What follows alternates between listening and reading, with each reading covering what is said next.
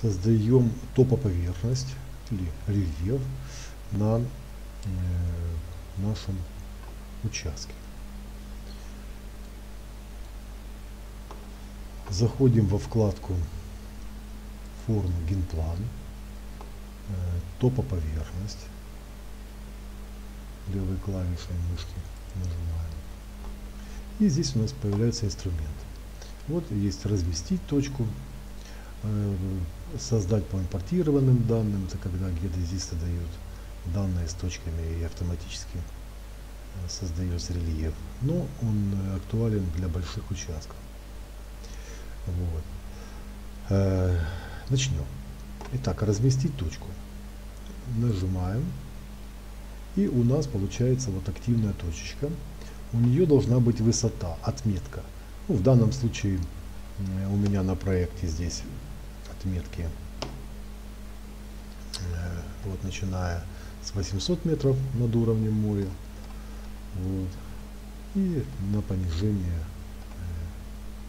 э, сюда 792 метра. То есть в первую очередь мы берем и ставим ту отметку э, которая нам необходима для начала и мы возьмем 800 метров вот отсюда 800 метров. И э, можем поставить э, отметки на 4 э, угла, такие примерные, для того, чтобы потом э, формировать э, рельеф. Допустим, здесь 700 метров, здесь у нас э, возьмем вот изолиния идет вот это.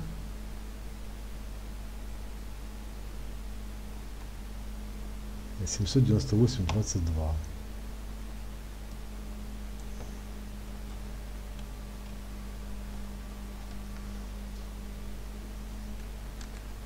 22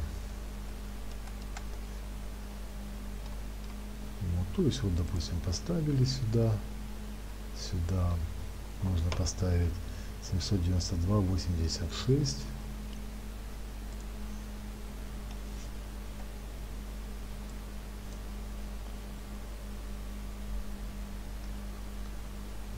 86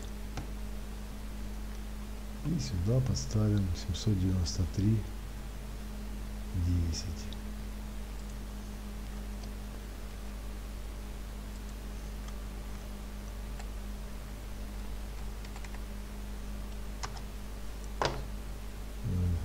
Если мы хотим пока посмотреть, что у нас получилось, нажимаем на галочку и получается у нас э, вот уже есть э, соответствующий рельеф. Но я рельеф сделал здесь сверху, у меня существующий уже есть, он скрыт.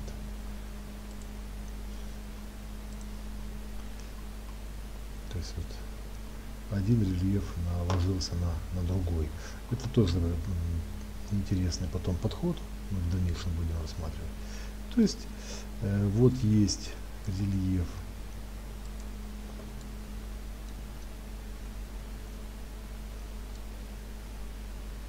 один, да, есть второй рельеф. Они пересеклись сейчас, но суть заключается в чем? Э, в том, что это вот э, новый, я его сейчас удалю и оставлю наш существующий. То есть первый подход, когда мы точки размещаем, вот эти точки, мы размещаем вот по изолиниям или по отметкам, которые нам дает геодезист, э, и мы размещаем высотные отметки. Таким образом у нас начинает формироваться рельеф. То есть вот эту каждую точечку, она у нас имеет свою отметку, вот, и мы ее вот таким образом, как я показывал, мы ее ставим это можем еще раз вот взять, разместить точку уже в редактировании поверхности. Например, возьмем здесь у нас 800, э, опять же изменим 800 и будем вот так ставить. Чем э, больше точек, тем плавней будет переход на рельефе. Потому что э, вот такие могут быть моменты появиться. Вот видите, здесь эта точка, она э, ошибочно поставлена, вот она. Таким образом она портит плавность перехода рельефа. Я сейчас удалю, и вот уже плавнее стало. Вот. Это самый простой способ, который используется. То есть берем просто точку, размещаем ее и получаем рельеф. Но вот как здесь видно на этом э, моем проекте, я не до конца еще все поставил, и поэтому есть э, некорректный рельеф вот с такими впадинами и так далее. Для того, чтобы этого не было, необходимо даже вот на плане вот эти изолинии проектные, они, видите, здесь такие хаотичные, хотя здесь мы видим и под основу э, геодезическую из автокада, вот она, э, указана отметка и линия, и э, изолинии, которые выставил Revit, вот мы их выделили, они выделяются. Вот. Надо как можно точнее совмещать эти линий, то есть вот допустим вот так вот берем и вручную переводим эти точечки под каждую э, изолинию. То есть таким образом мы формируем существующий рельеф, не проектный, существующий. Нам существующий э, рельеф необходимо для того, чтобы в процессе проектировали мы видели, как у нас э, располагаются наши объекты. И потом по необходимости мы можем изменять эти отметки и делать уже э, проектный э, рельеф, проектные отметки. А проектные отметки э, мы можем делать уже или э, проектными горизонтальными, или вот такими плавными изолиниями. Сейчас дальше мы будем это дело рассматривать.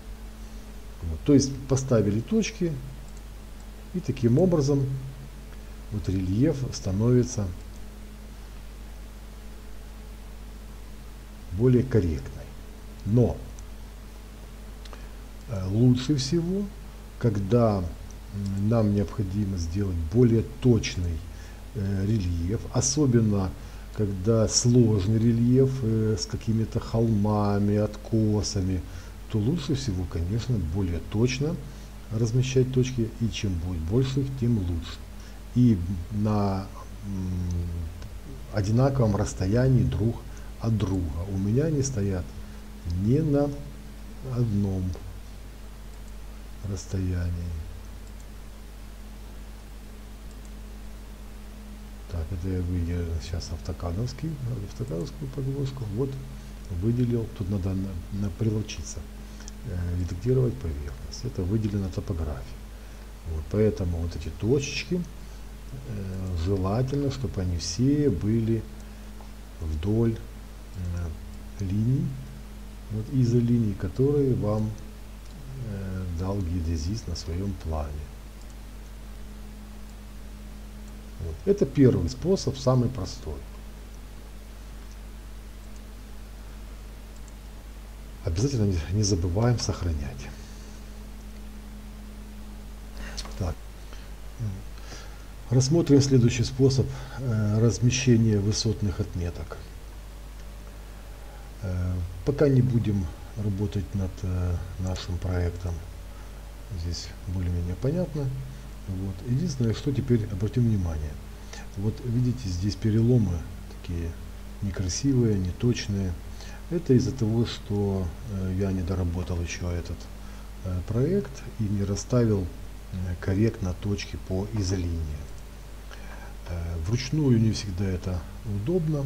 Для этого есть еще способ э, более удобный, может быть более длительный. Э, в чем он заключается? У нас, нам надо нанести изолинии. Возьмем инструментарий или линия, или вот, геометрические фигуры. Но для плавных изолиний возьмем дуги. Вот, например, возьмем, построим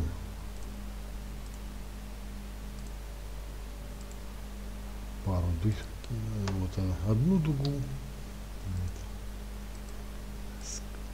Можно их будет выделить, скопировать. Возьмем на 5 метров.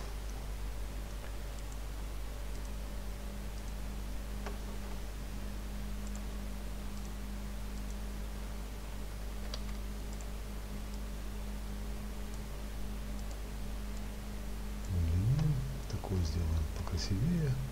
Вот и сделаем плавный перепад. Это очень важно, когда необходимо получить более точные отметки. Вот, э, особенно на 3D модели перед визуализацией, где э, в камеру может попасть э, некрасивые перепады и перелом рельефа. Ну или, собственно говоря, здесь тоже, если на 3D посмотреть, тоже есть э, хорошо. Вот, вот мы нанесли э, изолинии, которые э, будут указывать на перепад э, высоты. Например, здесь возьмем следующим образом. Форма генплан, топа поверхность, разместить точку. Здесь у нас была отметка 800, тут мы ее поставим. И, например, поставим сюда еще 800. Таким образом у нас будет вот эта площадка, эта площадочка, она у нас будет 800 метров над уровнем моря. Вот.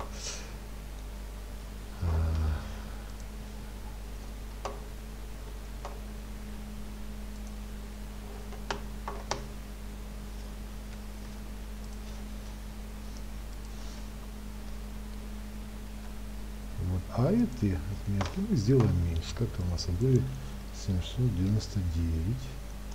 Enter. Так, теперь 793 примерно поставим. И, то есть 2. Там у нас было 2. 2. Это не важно, в принципе.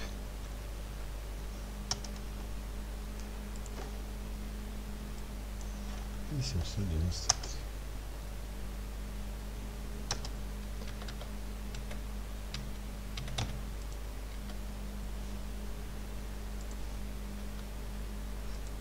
проверим. Вот, два. То есть вот мы получили вот такой рельеф.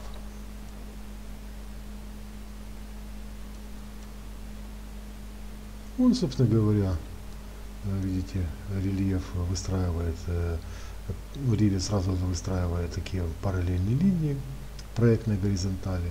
Но нам надо все-таки больше такие плавные холмы сделать.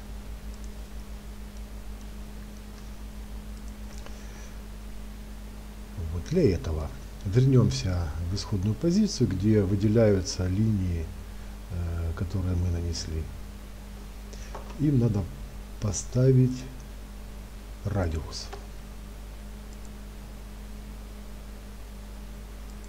На каждую дугу нам нужно поставить радиус, чтобы мы потом могли к центру радиуса привязаться. И сейчас рассмотрим как.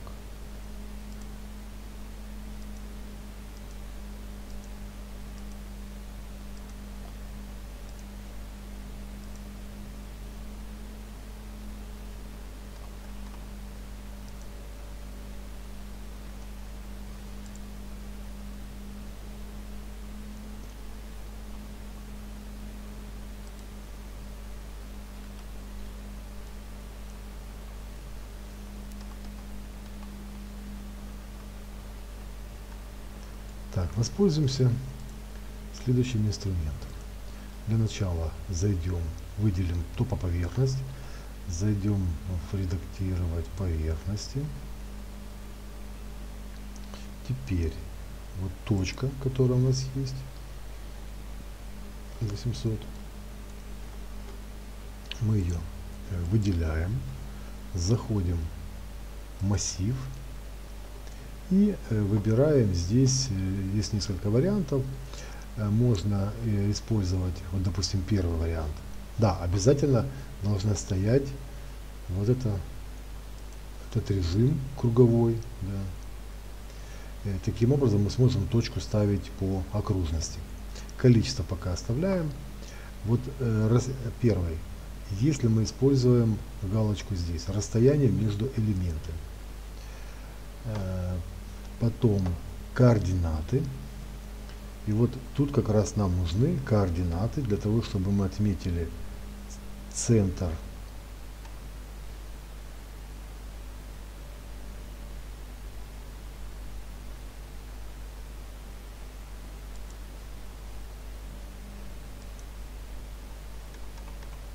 Вот. И теперь смотрите, если мы на каком-то расстоянии поставим точку, вот, то это расстояние потом будет у нас э, чередоваться по нашему отрезку дуги. Допустим, поставим э, 5. Маловато. А у нас расстояние, ну пускай будет 20. То есть вот 20 многовато. Поставим 16. Вот где-то в этом э, месте оставим. Вот, то есть вот у нас сформировался массив точек, который четко идет по э, линии, э, по дуге, которая формирует наш плавный переход высот, высотных отметок. Дальше, находясь в редакторе, мы также отметку, так, это у нас какая отметка была, сейчас проверим, 800, здесь 800, все, продолжаем. Так, берем опять же 800, ставим ее на следующем отрезке.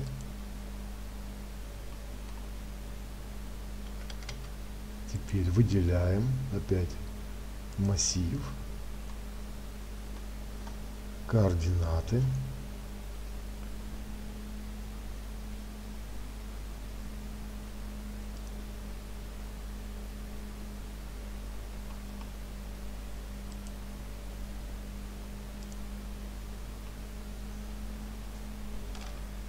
Ну, поставим 15. почти угадали. 17. Вот. Хотя нет, не угадали. Ну, если знать точно расстояние, то можно с этим э, работать. Так. Теперь возьмем еще одну точку 800. Поставим. И теперь выделим ее, массив, и возьмем, например, расстояние между элементами уберем, а поставим общая длина. Опять координаты. Что это значит? Что мы сейчас, отметив центр, получили ось, и теперь выделив точку, мы устанавливаем на конечной точки. Вот, и вот эти две точки у нас будут э, ограничивать количество э, наших размещаемых точек. Допустим, поставим 30. Вот они стали. 25. Вот они стали. Вот.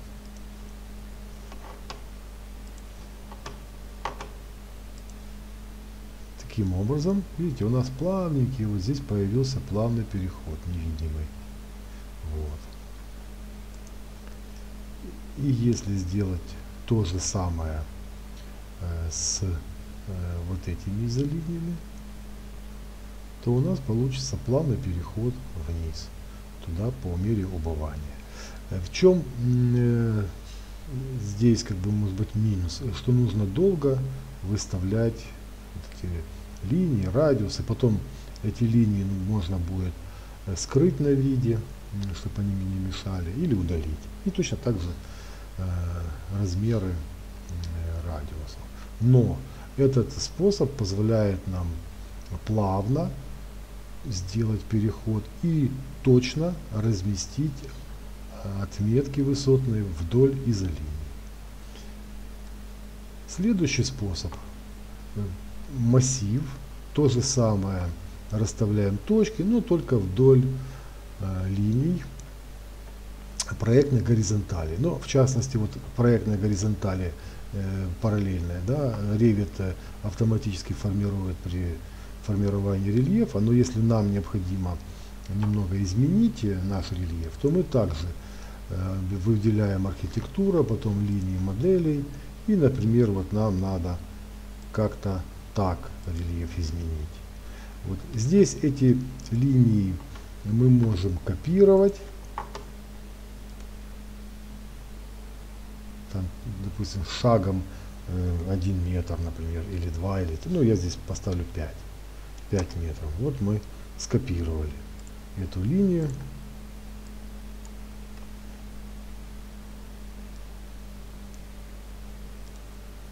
И точно так же вдоль э, этой линии мы выставляем наши точки. Допустим, разместить отметку. Здесь у нас должна быть 800, да, 800. Ну, а здесь мы поставим, например, чтобы был ярко выраженный перепад. Поставим, например,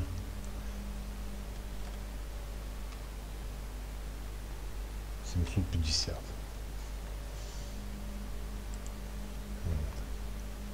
Вот мы поставили 750. Сразу же у нас, видите, перелом получился. Так. И теперь выделяем точку, берем массив и переходим в режим линейный. Здесь все то же самое, или по расстояниям, или по общей длине.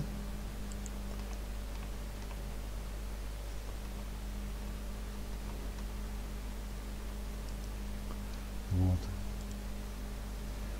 Теперь мы видим здесь две точки у нас. Ну, если необходимо, можно поставить точки. Но в принципе на э, вот таких горизонталях э, иногда достаточно в начале и в конце поставить, потому что все ровно.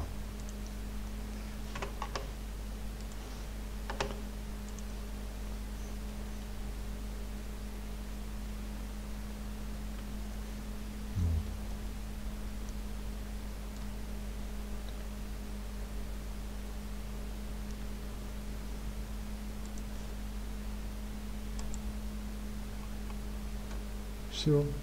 Вот у нас есть две плоскости. Одна плоскость, которая в отметках одинаковых. Вот она. Здесь 750 и здесь 750. И поэтому идет перелом. А если мы заменим, э, сделаем здесь, допустим, отменим операции, и поставим здесь 800 как площадку. Выделим. Линейный. Расстояние. Выделяем точку. Переносим ее сюда. И видим, что у нас немножко по-другому все.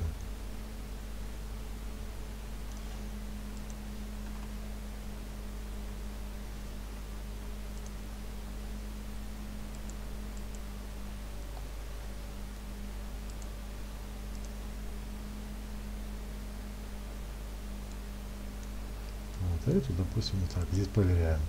800, здесь 800, здесь 800.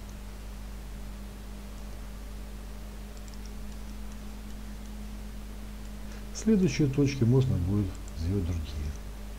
Допустим, разместить точку и поставить э, 700.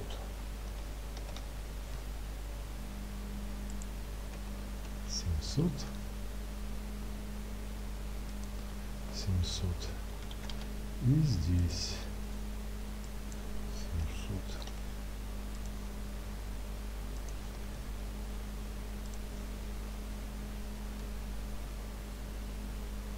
то есть эта часть более плавно пошла.